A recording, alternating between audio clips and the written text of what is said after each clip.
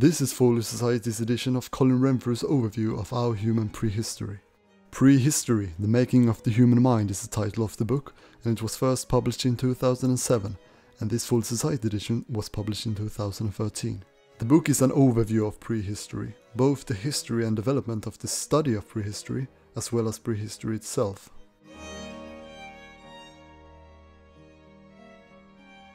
This edition is cloth bound with a Smyth sewn binding. It comes with a six page long introduction by Alice Roberts.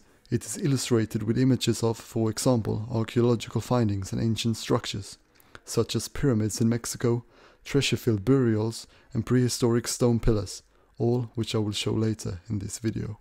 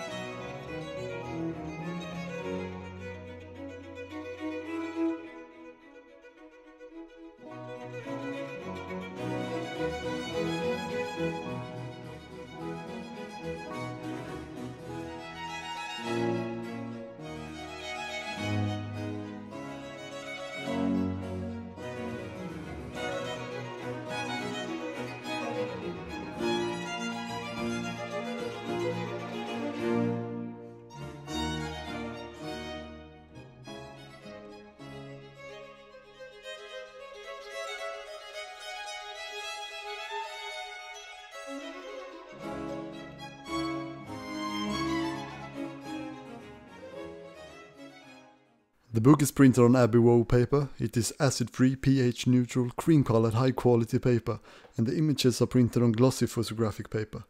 Text size is fairly large, about medium in size, and it is set in Sabon. Here are the illustrations for this edition. Enjoy!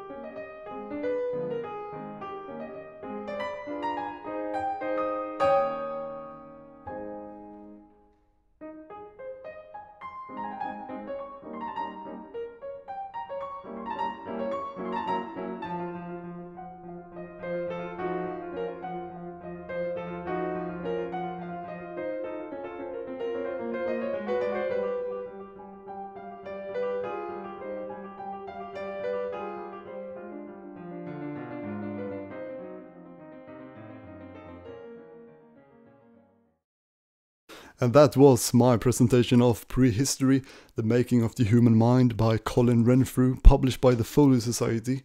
I finished the book yesterday. I did find it a bit dense and dry, quite challenging, which is a good thing. But uh, overall, it was a, a, tough read, especially when I don't have much prior knowledge of uh, archaeology and, and uh, anthropology, uh, other than things I've picked up in podcasts and introduction to other books and um, yeah, overall things I've just picked up through reading. Uh, but it was, um, I think, well worth reading at least. Uh, yeah, but if you have any questions about the book or any questions about anything at all, make sure to leave a comment. You can support this channel by going going to my Patreon page or by using my Taschen affiliate link. But thank you all so much for watching. I hope to see you all next time. Goodbye.